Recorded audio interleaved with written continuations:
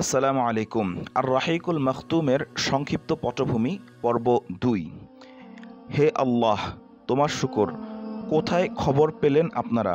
আমি সাহিত্য অবস্থায় থেকে এবার উঠে বসলাম।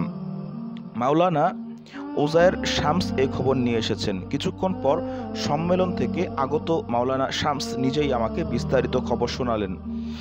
উনিশশো আটাত্তর সালের উনত্রিশে জুলাই তেরোশো আটানব্বই হিজড়ির বাইশে সাবান তারিখে রাবেদার পক্ষ থেকে রেজিস্ট্রি একটি চিঠি পাঠা, চিঠি পেলাম। বিজয়ী হওয়ার খবরের সাথে সাথে উনিশশো তেরোশো নিরানব্বই হিজড়ির মোহাররম মাসে মক্কায় অনুষ্ঠিত রাবেতার অনুষ্ঠানে আনুষ্ঠানিকভাবে পুরস্কার গ্রহণের জন্য আমাকে আমন্ত্রণ জানানো হলো। পরে অবশ্য এ অনুষ্ঠান মোহাররমের পরিবর্তে রবিউ সানিতে অনুষ্ঠিত হয়। অনুষ্ঠানে অংশগ্রহণের ওসিলায় আমি প্রথমবার প্রিয় নবীর দেশ হারামাইনি শরীফাইন জিয়ারতে সৌভাগ্য লাভ করি। দশই রবিউ সানি মক্কায় পৌঁছলাম। এরপর অনুষ্ঠানে হাজির হলাম। প্রয়োজনীয় আনুষ্ঠানিকতা শেষে প্রায় সকাল দশটায় তেলাওয়াত তেলাওয়াতে কোরআনের মাধ্যমে অনুষ্ঠানের কাজ শুরু হয়। সৌদি আরবের প্রধান বিচারপতি শেখ আবদুল্লাহ ইবনে হুমায়েদ ছিলেন অনুষ্ঠানের সভাপতি। বাদশাহ আব্দুল আজিজ ইবনে সাউদের পৌত্র, মক্কার সহকারী governor Amir Saud Ibn Abdul Mohsin পুরস্কার বিতরণের জন্য প্রধান অতিথি হিসেবে আগমন করেন। তিনি পরে কিছু বক্তৃতাও দেন। এরপর রাবেতায় আলমী ইসলামীর নায়েবে secretary general Sheikh Ali Al Mukhtar ভাষণ দেন। তিনি কিছুটা বিস্তারিতভাবে প্রতিযোগিতা প্রতিযোগিতা অনুষ্ঠানের উদ্দেশ্যে ব্যাখ্যা করেন, উদ্দেশ্য ব্যাখ্যা করেন। বিজয়ীদের কীভাবে বাছাই করা হয়েছে সেসব কথা উল্লেখ করেন। তিনি জানান যে রাবে তার ঘোষণার পর এক হাজার একশো এগারো কি? একক দশক শতক, হাজার। এক হাজার একশো বিরাশিটি পাণ্ডুলিপি জমা পড়েছিল। অর্থাৎ এই যে আমরা আজকে যে আর রাহিকুল মাখতুম পড়ছি, এটার এটার পিছনের গল্প হচ্ছে যে এক হাজার একশো বিরাশিটি পাণ্ডুলিপির উপরে এই পাণ্ডুলিপিটি হচ্ছে আপনার বিজয়ী লাভ করে, ঠিক আছে? পাণ্ডুলিপি জমা পড়ে। প্রাথমিক বিবেচনায় নির্বাচন কমিটি একশো তিরাশিটি পাণ্ডুলিপি প্রতিযোগিতার জন্য মনোনীত করেন। চূড়ান্ত বাছাইয়ের জন্য সু সুনির্বাচিত একটি কমিটির উপর দায়িত্ব দেওয়া হয়। এই কমিটির চেয়ারম্যান ছিলেন শিক্ষামন্ত্রী শেখ হাসান ইবনে আবদুল্লাহ আল শেখ কমিটির সদস্যরা ছিলেন জেদ্দা বিশ্ববিদ্যালয়ের শরীয়ত বিভাগের শিক্ষক সিরাতুন নবী ও ইসলামের ইতিহাস বিশেষজ্ঞ। তাদের নাম নিম্নরূপ, doctor Ibrahim Ali Saud, doctor Abdur Rahman Fahmi Mohammad, doctor Mohammad Saeed Siddiqui, doctor Fikri Ahmad Ukaz, doctor Ahmad Syed Daraz, doctor Fayek Bakr Sawaf doctor Shakir Mahmud Abdul Munaem doctor Abdul Fattah Mansur. এই কমিটির বিশেষজ্ঞরা পর্যায়ক্রমিক বাছাইয়ের পর এই পাঁচটি পাণ্ডুলিপির জন্য পাঁচজনকে পুরস্কার পাওয়ার উপযুক্ত ঘোষণা করেন। এক, আর রাহিকুল মাখতুম আরবি, সফিউর রহমান মুবারকপুরি, আল্লাহ আকবর, জামিয়া সালাফিয়া, বেনারস, ভারত। প্রথম। দুই, খতামুন নাবি আইন ইংরেজি ডক্টর মাজেদ আলী খান জামিয়া মিল্লিয়া ইসলামিয়া, দিল্লি, ভারত, দ্বিতীয়। তিন, পয়গম্বরে আজম ও আখের Urdu doctor doctor Nasir Ahmad Nasir, vice chancellor Jamia Islamia, Bahawalpur, Pakistan. তৃতীয় তৃতীয়।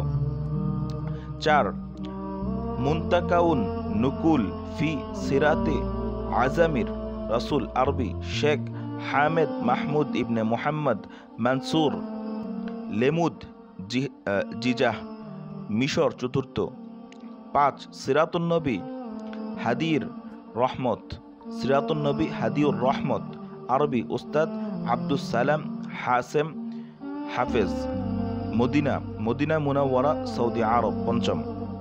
নাইবে secretary general Sheikh Ali Al Mukhtar এই বিবরণের পর প্রতিযোগিতায় অংশগ্রহণকারীদের ধন্যবাদ জানিয়ে তার বক্তব্য শেষ করেন। এরপর আমাকে আমার প্রতিক্রিয়া ব্যক্ত করার জন্য অনুরোধ করা হয়। আমি আমার বক্তব্যে ভারতবর্ষে ইসলাম প্রচারের জন্য রাবেদাকে কিছু কৌশল ও কর্মপন্থা গ্রহণের পরামর্শ প্রদান করি। এর ফলাফল কি হবে পরে সে সম্পর্কেও আলোকপাত করি। রাবেতার পক্ষ থেকে পরামর্শ গ্রহণের আশ্বাস দেয়া হয়। এরপর আমির এরপর আমির সাউদ ইবনে আব্দুল মোহসেন পর্যায়ক্রমে পাঁচজনকে পুরস্কারের অর্থ ও সার্টিফিকেট প্রদান করেন। পুরস্কার বিতরণ শেষে কোরআন তেলাওয়াতের মাধ্যমে অনুষ্ঠানের সমাপ্তি ঘোষণা করা হয়।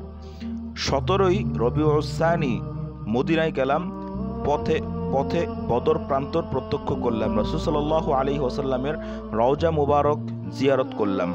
কয়েকদিন পর এক সকালে খাইবরে গেলাম। ঐতিহাসিক দুর্গসহ ভেতর ও বাইরে থেকে দেখলাম। এদিক সেদিক বেরিয়ে বিকেলে ফিরে এলাম মদিনায়। দুই সপ্তাহ মদিনায় কাটিয়ে পুনরায় মক্কায় ফিরে এলাম। তাওয়াফ ও সাই করলাম। এক সপ্তাহ মক্কায় কাটালাম।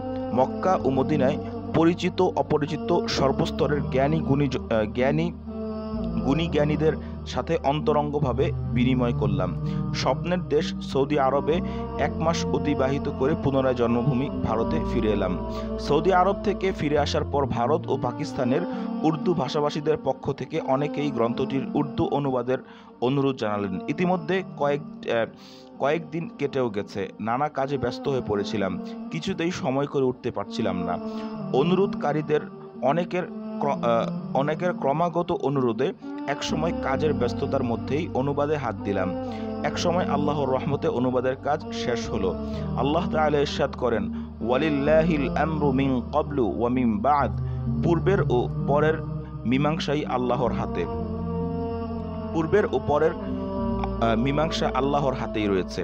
পরিশেষে এ গ্রন্থ রচনায় আমাকে উৎসাহ প্রদানকারী, সহায়তাকারী, বুজুর্গানে দিন, বন্ধুদের প্রতি কৃতজ্ঞতা প্রকাশ করা জরুরি মনে করি। বিশেষ করে উস্তাদে মোহতারাম, মাওলানা আব্দুর রহ আব্দুর রহমান রহমানি, শেখ উজায়ের সাহেব, হাফেজ মোহাম্মদ ইলিয়াসের আন্তরিক সহযোগিতার কথা স্মরণ করছি। তাদের পরামর্শ ও উৎসাহ যথাযথ, যথাসময়ে পাণ্ডুলিপি রচনায় আমাকে সহায়তা করেছে। আল্লাহ রব্বুল আলমিন তাদের সবাইকে উত্তম বিনিময় দান করুন। আল্লাহ পাক এই গ্রন্থ কবুল করুন এবং এর সাথে সংশ্লিষ্ট সবাইকে ইহলৌকিক ও পরলৌকিক নাজাতের ব্যবস্থা করুন। আমিন। সফিউর রহমান মুবারকপুরি, আঠারোই রমজানুল মুবারক, চোদ্দোশো চার হিজড়ি